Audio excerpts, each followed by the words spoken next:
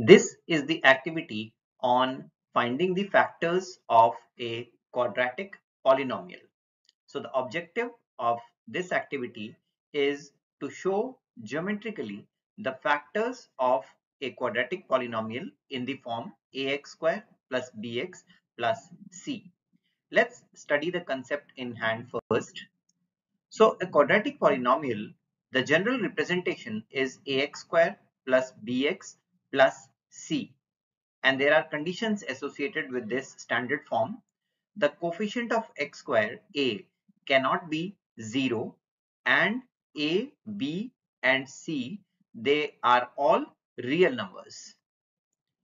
Every quadratic polynomial has two factors and both these factors are linear.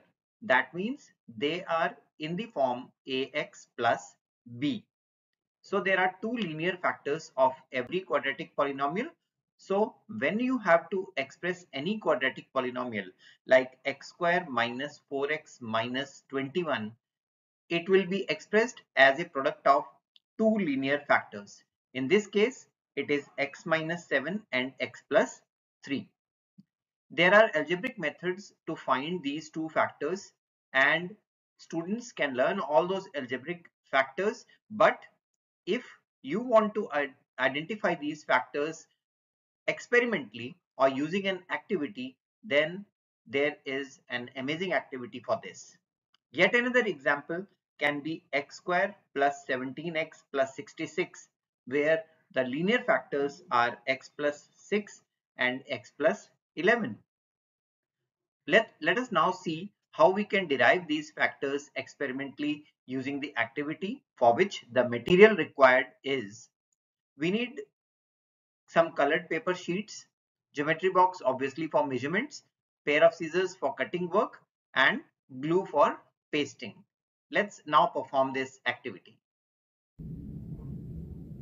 For finding the factors of a quadratic polynomial like x square plus 8x plus 15, we require a square cutout of a colored paper sheet.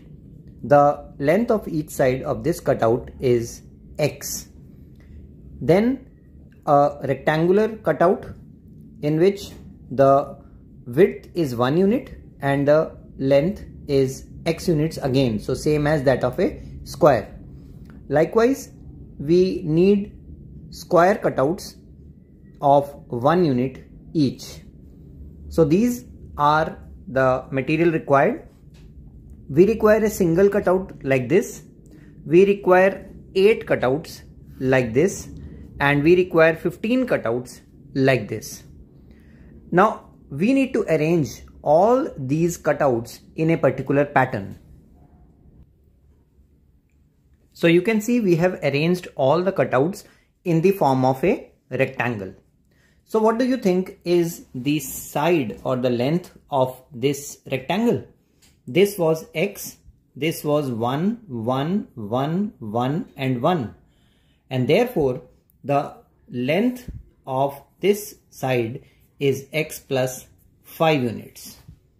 And similarly, if you want to find the length on the other side, that is the breadth of this rectangle, this is x this is 1, 1 and 1 and therefore this will be x plus 3 and therefore the area of the entire rectangle will be x plus 3 times x plus 5.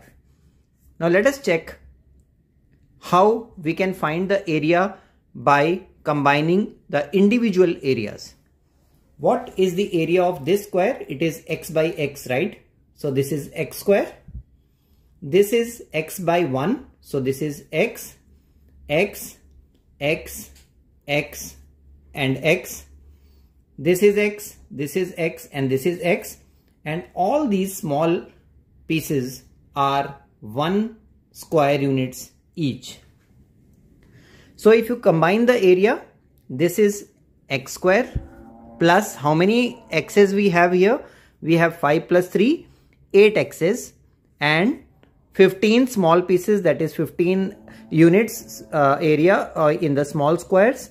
So we have the required polynomial and therefore the factors of x square plus 8x plus 15 are x plus 3 and x plus 5 and that completes our activity.